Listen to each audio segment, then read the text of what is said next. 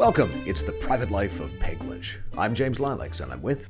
Astrid King, and I am Peg Lynch's daughter. Oh, no, you're so much more than that. I am. I will be playing Peg Lynch, my mother, in this episode, along with all the others, which you're used to by now, I hope. Well, so far you've heard the story of a young girl from a small town in Minnesota who rose to the top of the top of the media world. King, queen of New York radio. She had her own national radio show. She did, and along with that, she had many admirers. A bevy, you might say. I'm sorry? A bevy of admirers? A bevy of admirers. Some of them had to be kept secret, too. Well, one of them did. well, wait a minute. She had a secret affair with some dashing Hollywood star. Is that what you're telling Oh, me? Oh, I'm not going to give that away. You're not. Do you- we have to listen to find out who this is? You do. Okay, well, I guess you'd better tell us. We're also going to find out some of the other people who found her work remarkable, like, uh, oh, James Thurber, as we're going to hear in a second. I mean, I remember hearing this and thinking, you know, if there's anyone less inclined to compliment another comic writer, it's another comic writer. But Thurber knew talent when he saw it and heard it, and Peg was talent. So let's continue on now with the private life of Peg Lynch. The Private Lives of Ethel and Albert, starring Peg Lynch and Alan Bunce, and presented by ABC.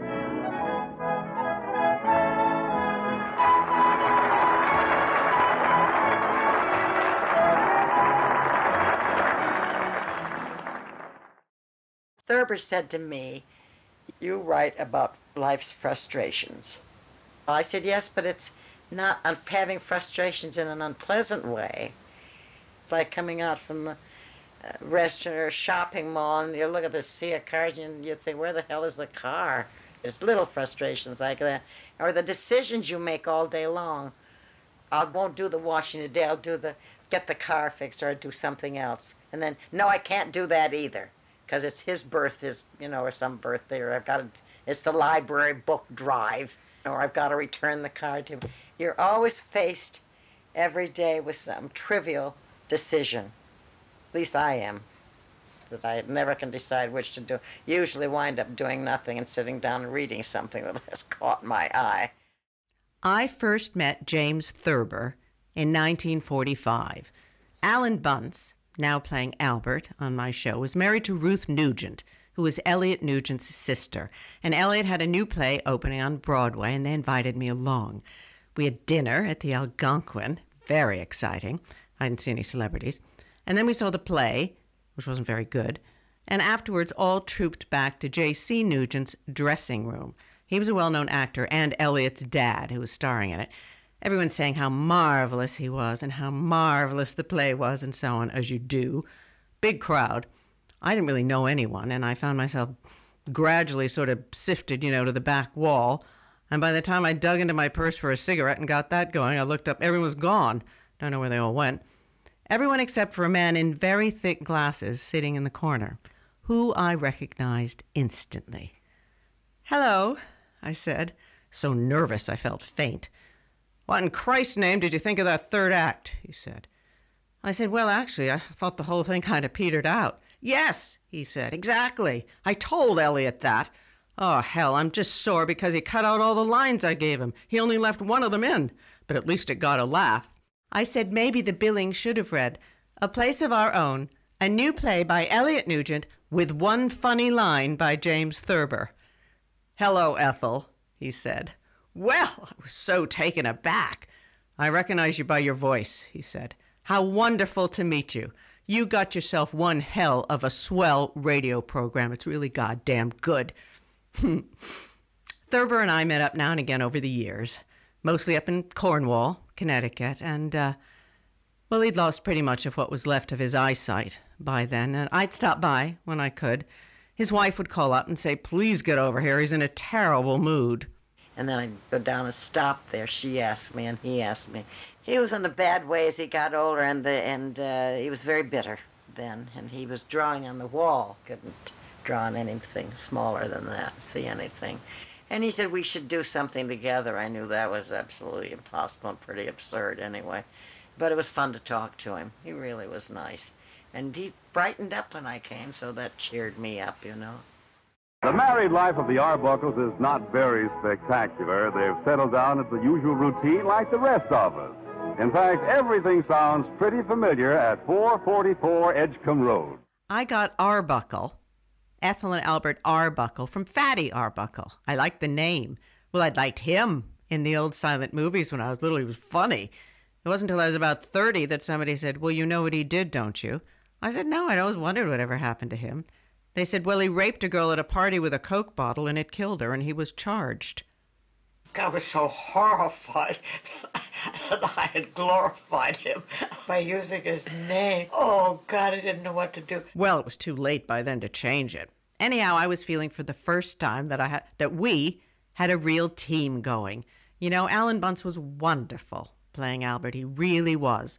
Well, it took about six months to get into the swing of it, but uh, once you know someone for a while, you learn to write for them. You know, you capitalize on how they speak and so on. But uh, Alan was simultaneously starring in a soap opera, Young Dr. Malone, which meant he rehearsed that at CBS from 12:30 to 1:10, then rushed over to ABC to us to rehearse Ethel and Albert. We'd go live on the air with our show, then he'd race back over to CBS to do Malone. It was hectic as hell, but we were making it work, just until the network decided to shift our time slot because so many women had written in and said, My husband says he's sick and tired of listening to the secondhand version of Ethel and Albert, and I want him to hear it. Could you put it on in the evening? Well, that was their excuse, anyhow. Probably fit their schedule as far as that concerned. And so that's why they put us on at quarter to seven. Which conflicted with young Dr. Malone. So Alan had to make a decision. And luckily, because I tell you, the idea of having to cast for yet another Albert had me so upset I was just sick to my stomach all the time. Alan quit Malone. And as I said before, we went on to work together as Ethel and Albert, mostly happily, for the next 20 years. And on the 13th of March, 1946, our daughter, Susie, was born. She was played by Madeline Pierce, an actress then in her 30s who specialized in children's voices. Susie, come on, get your hands washed, then get up in your high chair, dear. Daddy isn't here. Well, you're going to have your dinner in the kitchen tonight, dear, because Mommy and Daddy are having guests. No. Get your hands washed now. Come on. I want to eat with you. Now, look, I want you to be a good little girl. Honestly, where can Daddy be? I asked him to try and get home a little early tonight. Oh, Albert? Yeah. Oh, just wondering where you were. Get your hands washed. Oh, Daddy! oh, Daddy! I, I've just heard one of the funniest stories I ever heard in my life. Oh, have you? Now, even in New York, even in the big time, the goal was to get a sponsor for your show. And we started off on what was called sustaining at ABC, meaning without one. But to exist for any length of time on network, you needed to be sponsored. And they paid for the advertising, for one thing. Here's what the ABC network told potential sponsors quote, The Ethel and Albert program is not just beamed to the housewife alone, nor is it just for dad or the youngsters. Ethel and Albert is a family show that the whole family enjoys together. Therefore, every sales message of yours reaches the entire family. End quote. More bang for the buck. But the big difference for me now was that for the first time in my radio career, I didn't have to go find these sponsors or write all that endless, driveling ad copy that I've been having to do for years. Listen, I thought I had nothing to do. I said, God, that's all I have to do is write the show Ethel and Albert once a, once a day. ABC went on what was called cooperative, meaning it's all its affiliated stations all over the country had to find their own local sponsors. We had uh, Montgomery Ward in Chicago, Savarin Coffee in New York, something else in Fort Worth, and so on. 141 stations, all told. And believe me, I counted them. Because soon after we'd started, the network made me write to every single one of them personally, apologizing for something Ethel had said on the air. But I hadn't. I really hadn't. I was always very careful, never, never to swear. Well, you had to be. And I said, gosh. Oh my gosh. And they thought I said, oh my God. And who complained, I don't know. But I had to write very groveling, humbling, humble letters to the sponsor. And different sponsors all over, so you can imagine the sponsors I had to write. Pearly Furs up in Montreal. And so on and so on. Cripes. But other than that, the network left me alone. They never butted in. Oh, yes, once. They told me to quickly write a show for the next day talking about FDR, President Roosevelt's death, and how sad Ethel and Albert were. I said, Well, I can't say that for 15 minutes. Write the show, they said, and hung up. I can't remember what I did. I know I had the organist play Home on the Range at the end. Well, then ABC changed their minds again about our time slot. They put out an announcement saying, Do you like it on now or do you want it on a little earlier, back in the old time? And we got 13,000 letters. And I think they put the ad on on Monday. And by Thursday, we had 13,000. These enormous sacks of mail, you know, a yard and a half high, with In Defense of Ethel and Albert written on them. ABC had them all delivered down to Gramercy Park, my apartment, and every single letter in those bags said how upset they'd be if my show was moved to 2 in the afternoon, because they'd be out and they wouldn't be able to hear it. One family asking if they were all expected to quit work in order to hear it. Children threatening to stay home from school, even. I mean, it was incredible. It really was. Great publicity, of course. And so, uh, well, with public opinion 100 to 1 in favor of keeping us on at 6:15, ABC, believe it or not, complied. And we stayed there for the next 6 years and I wrote a script a day all that time, sometimes more. I had 2 weeks from typewriter to broadcast, and what I wrote was what they got. I almost never rewrote or edited ever. But it was always the same, you know, holidays, birthdays, didn't matter. I'd go out for dinner on Christmas Eve, see friends, but no, I had to write a script when I got home. I'd be on the air Christmas Day, then it was back to the apartment to write a script. I mean, even World War II sort of passed me by. I mean, the city was a madhouse when Germany was defeated. I mean, you couldn't hear yourself think. Horns blowing, day and night, cars, ships in the harbor. And then again, a few months later, when Japan fell, and there's me trying to get my scripts done. Well, I managed. What threw me really wasn't the writing. No, what got to me was the performing, going out live, being heard by millions all over the country and in Canada and I threw up before everything. But, and I didn't eat anything nice and thin in those days. I guess I was nervous. I was more nervous on radio than I was on television for some reason. and no one really understood the pressure.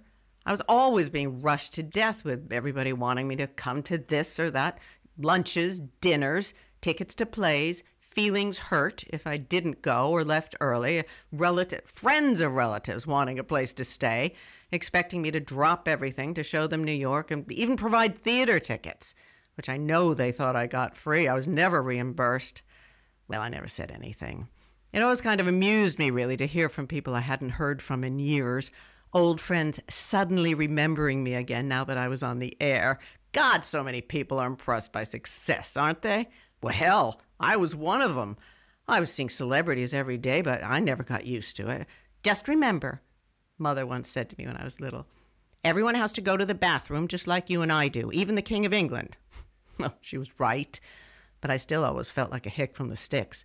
I remember Alan Bunce and I came back from lunch one day to rehearsal, which was in the bowels of the RCA building. And there was Tallulah Bankhead sitting on this crummy old wooden bench, and we all looked surprised at her. And then she said, ah, "I've been waiting half an hour." And I thought, "What for? What was she waiting for?" Oh, I tell you, I love your show.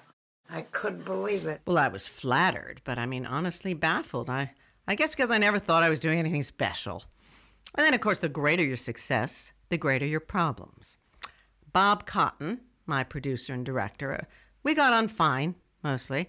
I may get furious with people, but I never stay mad for too long before the whole thing strikes me as rather funny. And besides, I can probably get a script out of it. But if I feel I'm being rooked, I sure as hell speak up. And Cotton, who honest and truly did nothing on my show except wave his hand at the organist to give him a cue, he wanted me to sign an agreement whereby he'd make twice as much money from Ethel and Albert as I would, for the rest of his life, from what I could tell. And not, not just the radio rights, but for this up and coming thing called television, movies, books. He even had his girlfriend getting a piece of the pie. He and a Sheila Dill or Dilly, I didn't even know her. He had themselves listed as the owners of Ethel and Albert.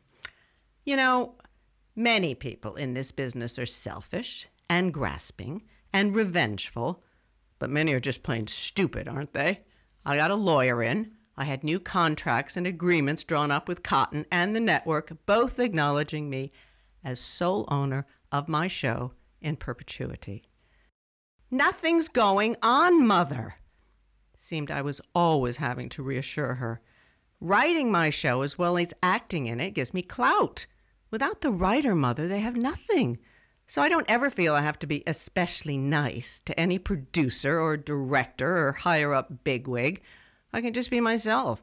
It's really no concern of mine whether or not they find me attractive, so please stop worrying. I will not be one of those girls who gets to the top on her bottom, and I shall always wear an iron glove on my silky paw. well, look, let's face it. Men are the same the world over and most of them made passes, of course, at some point, but I never felt threatened, ever. Well, they might have, but I didn't. Most of them just look so silly, really, don't they? I'd have dinner with the production head of ABC one night. It was a business thing. And at one stage, I asked why Ethel and Albert wasn't being broadcast out on the coast, you know, LA. Well, he said, reaching over and giving my silky paw a little squeeze, accompanied by what I imagine he thought was a sexy wink. He, uh, could certainly look into that if I, uh, well, I managed not to laugh, at least. What, I was going to go to bed with someone just so my Aunt Eva in San Fernando could hear my show? Cripes. Well, by the end of my first year in radio in New York, I'd made over $15,000. In my last year down in Cumberland, I'd made just under 2000 so it was a big difference.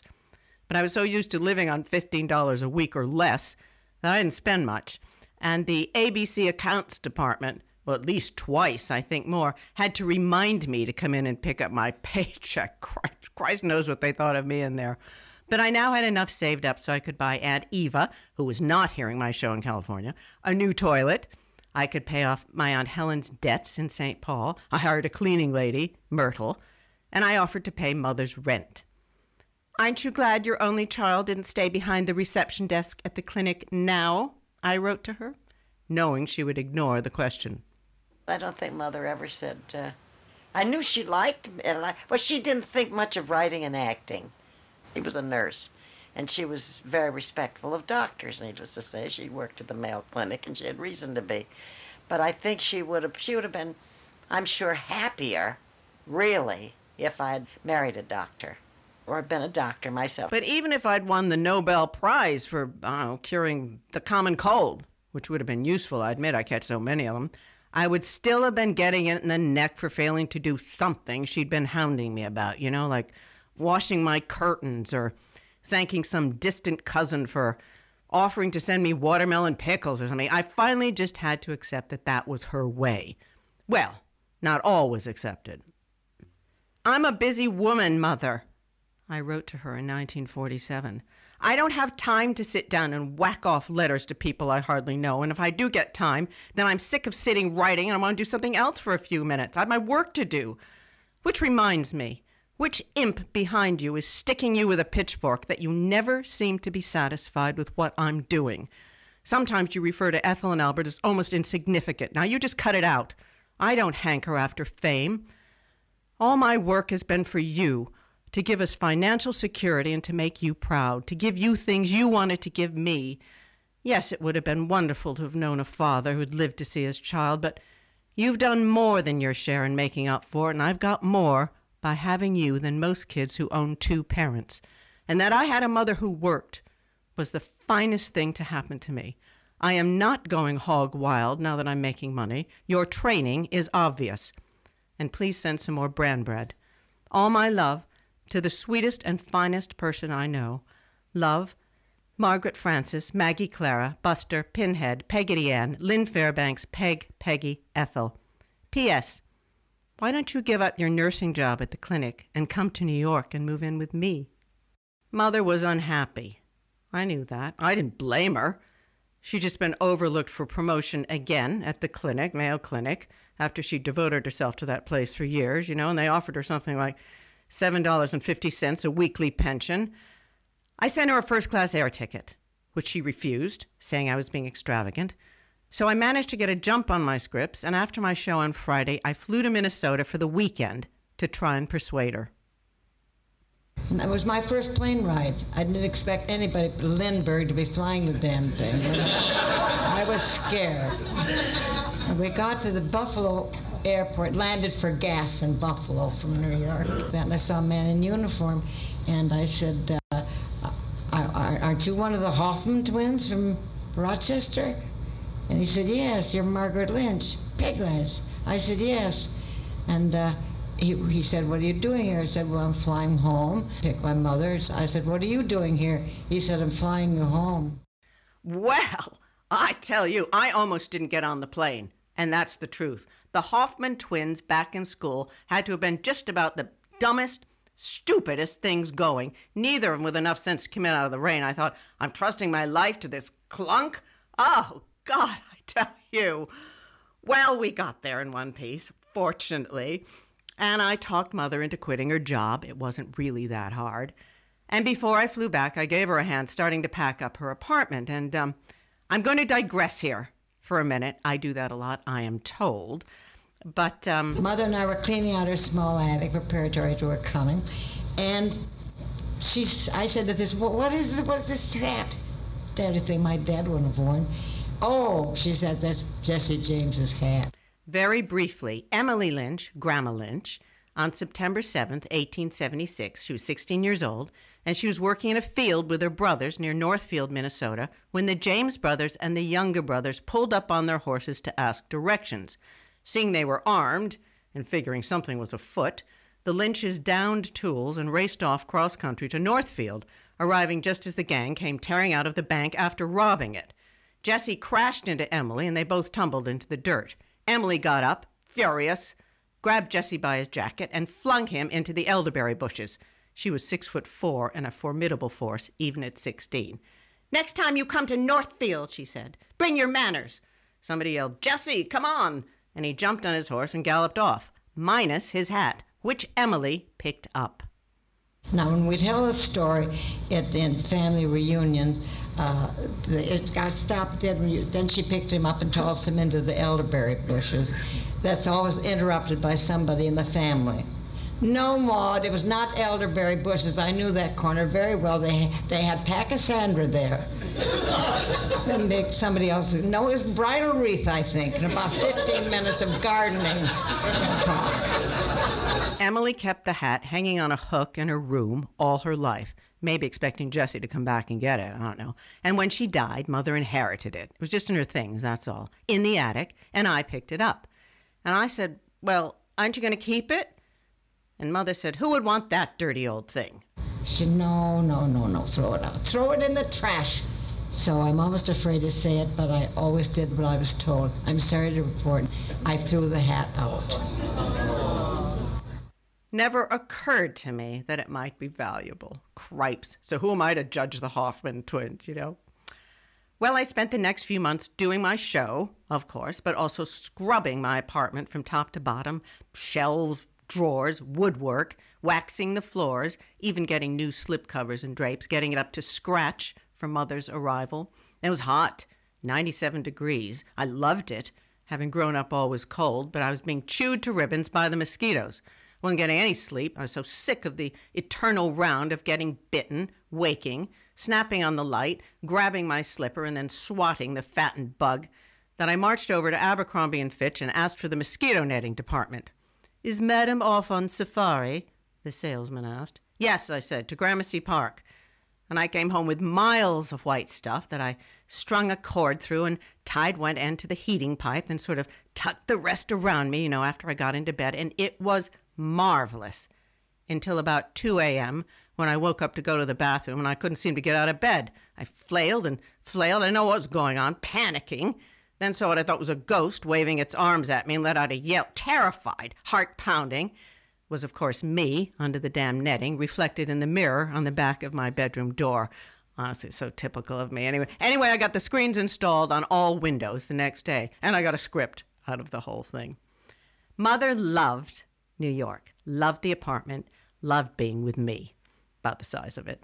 I brought her to my show. Everybody made a fuss. I took her shopping, out to dinners, to the theater. Her youngest sister, my Aunt Elise, was in medical school up at Columbia studying to be a doctor. Mother was very proud of her. And I took them to see Voice of the Turtle, a matinee one afternoon on Broadway. And I was sitting there watching, and I suddenly thought, God, I'd forgotten what this was all about, you know, illicit weekend and all that sort of stuff. And I said, uh, I whispered to my aunt, I'd forgotten the play was so. And uh, she said, Oh, don't worry about it. Your mother doesn't care how dirty the play is as long as the theater is clean. Only funny thing Elise ever said, wasn't it? Well, it seems that Mother had only hesitated about moving in with me because she didn't want to be in the way in case I got married. Married, I said. Fat chance of that. 31 and still single. The horror of being an old maid hung over me every single day, really. And I wanted children, lots of them, 10 at least. But who would I marry? I may have convinced myself I'd been in love a dozen times. I knew in my heart I hadn't, never finding exactly what I wanted in a man. Uh, although I tell you, when I got a fan letter from a Swedish radio officer on the Gripsholm, a liner ship off across the Atlantic exchanging prisoners of war or something like that, who wrote to me to say he'd fallen in love with my voice because it was so sweet. Well, I nearly married him sight unseen to know it was the first person who'd ever said anything nice about it. But no, there, there always seemed to be something lacking in every single man I met, or something there I didn't like. Too old, too young, stupid, drinks, an ass, nice but devoid of personality, crackpot, idiot, unavailable. I'd written to Mother a few years earlier saying, If ever I meet a man like Alan Bunce, that's the man I'm going to marry. I had a big crush on Alan. And it was, well, he was married with three beautiful children, and uh, I didn't believe anyone should break up a marriage. You know, I just didn't. Granted, my ardor did cool somewhat when he told me he'd never read a book in his life, not one, ever.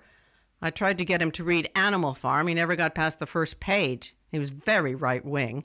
I just avoided the subject of politics. But uh, no, I didn't think anyone has the right to break up a marriage. Is about the size of it. Uh, I, uh, I dashed out for a drink of water in the hall outside our studio in the RCA building and afterwards held the button down on the water fountain, you know, just politely for whoever was behind me and uh, said something, can't remember what. But whatever it was, this man having a drink looked up at me and laughed. He looked so familiar. I couldn't think who he was. Anyhow, I did my show, and when I came out to go home, there he was, leaning against the wall next to the water fountain, arms folded, smiling. And he said, I've been standing here for two hours waiting for you to get thirsty again. Well, I laughed and said, I don't know what. He laughed. And we got to talking about what a beautiful evening it was. It was like the first day of spring or something like that. And he said, I feel like going around the park, Central Park. I've never gone around the park in one of those horse and carriages.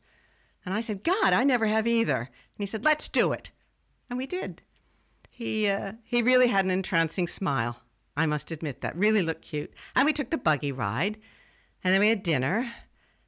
And then over the next few weeks, had more dinners after my show. Uh, he was one of the funniest men, really, I've ever met. Not witty, particularly, but amusing, fun. We laughed constantly. He was a nice guy, too. He really was. Out of all the celebrities I've ever met, the nicest. And he read. He was bright. But he'd always been cast for his looks. You know, by his own admission, he wasn't the greatest of actors, but his, uh, his fans didn't care. He'd just be mobbed everywhere we went. They wouldn't leave him alone.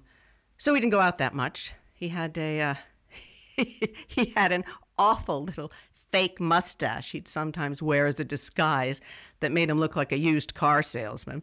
We were at the Hearthstone around the corner from Gramercy Park one time having dinner, and when he got up to go to the bathroom, a woman at the next table leaned over and said, We think your husband looks just like. And I said, pretending to be appalled, Oh, really? I hope not. He's awful. My best friend, Nancy Moore, she was a writer in New York. We spoke every day, chatted. You know what she said when she found out about him, when I told her who it was? She said, God, what's he seeing you? I thought it was kind of mean, really. I'll tell you who he was. I, I will, but not now. Not now. We stayed friends for quite a while over the years, and um, Anyway, he arranged his filming schedule then in Hollywood so that he could spend one week a month in New York. And I, uh, we, took a lease on a small studio apartment in MacDougal's Alley down in the village, Greenwich Village. There's nothing illicit. You know, I wasn't married. He wasn't. He was either divorced or officially separated. Can't remember. But I had my mother living with me now, you know. And MacDougal's Alley was darling. It really was. Red geraniums in the window boxes. It was right down near the building where they had all these apartments. I, I can't think how many they had, six or ten or, you know, something like that. And they were just they were just for people who were living together or having an affair and they didn't want it known, you know, celebrities. Tracy and Hepburn. I saw Leonard Bernstein there quite a lot. Can't remember who he was with though. And there was a restaurant there in the building too. And we go there, private. It's a club, you know, you couldn't just walk in off the street. Well, after six months or so, maybe less, he said, um, Let's get married. I didn't know what to do. He was a movie star, and there was no getting away from that, you know. Well, and we talked about it, and we talked about it. We were about to buy a house up in Nyack, New York, and uh, when I flew to LA to see someone about a film script, uh, nothing ever came of it. And we had a horrible experience at Chasen's. It really affected me. We were having dinner, and right in the middle of it, these two women, girls, really, approached. I thought they wanted his autograph. Do you know what they did? It all happened so fast. One of them pinned his arms behind his chair, and the other unzipped his pants and pulled out his, you know, and leaned down and put it in her mouth, right there in the middle of the crowded restaurant. I was so flabbergasted I couldn't move for a second, but I, I managed to leap up and yanked her by the hair, pulling her up. And by that time, people were running over waiters, customers, the maitre d's. It's, it made me sick to my stomach the whole thing because uh, that's not the life I wanted. I didn't. Uh, besides, I had my career, and that was in New York. And there was Alan.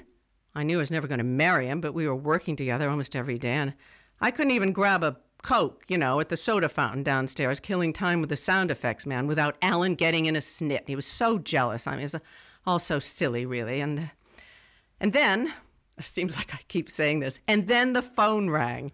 But it did and I was at the typewriter as usual, frantically trying to finish a script, but I picked it up and I heard.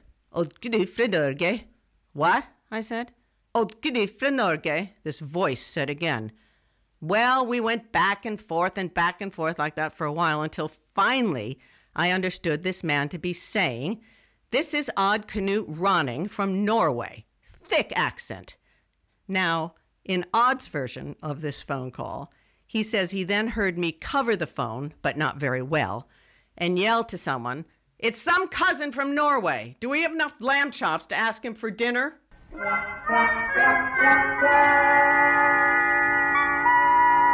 Well, I don't want to give it away, but you can't leave us hanging. Did they have enough lamb chops? Did he did he stay for dinner?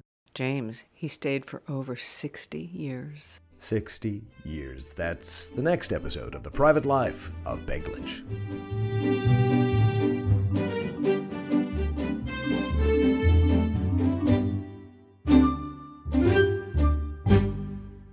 One more thing, because I know we're going to get letters.